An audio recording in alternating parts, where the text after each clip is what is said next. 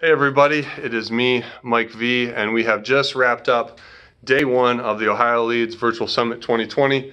Only a couple minor snafus, no real big deals. What was it, what was what happened this morning? I forget it. Oh, the breakout rooms. I didn't have that working like I wanted it to. Um, but we got that fixed. We'll be able to demo the breakout rooms. That'll be super important for remote learner stuff that we do on Thursday, Wednesday, Wednesday, Wednesday, and Thursday. We'll do it both days. Um, really want to make sure that I thank uh, you know everybody as much as possible. Uh, you know, Brad Gear, uh, Sarah Stubblefield, everybody that's sharing stuff. Uh, Paige Dietz as our PM, Michael Reeder also helping with the project management stuff. I'm sorry, Michael Ritter. Um, you know, Sam Raby and Alex Cummins helping with the technology stuff. Keith Instone, Eric Ward, Jerry Schnepp today, Dr. Thompson, President of Northwest State Community College, coming on to talk. Lots of great conversations today. It was a good time.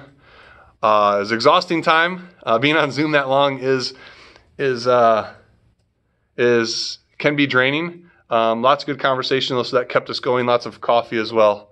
Uh, kept us going today. So, post production crew is here, still working, making some stuff happen to get out some social media graphics and some video content. Recap of the day. Uh, Eric Ward uh, and I were joined this evening or this late afternoon by Alex Cummins and um, Keith Instone to do a recap podcast. That'll be coming shortly. Uh, really, really, really just want to thank everybody who was involved today as we talked about communication. Um, and tomorrow we'll be talking about data. Wednesday, we'll talking about instruction, remote instruction specifically, and then Thursday, we'll bring it all home with some stuff about uh, learner services, student activities. So, again, thank you everybody for your sharing of this information. Uh, thank you for attending. Thank you for participating. This whole thing that we're working on, you know, what the future of education looks like.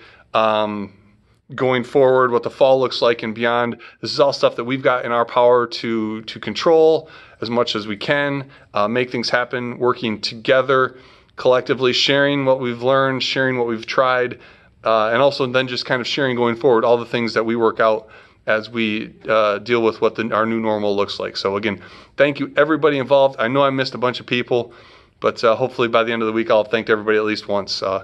Take care and get some sleep. And tomorrow we will do it all over again. Bye, everybody.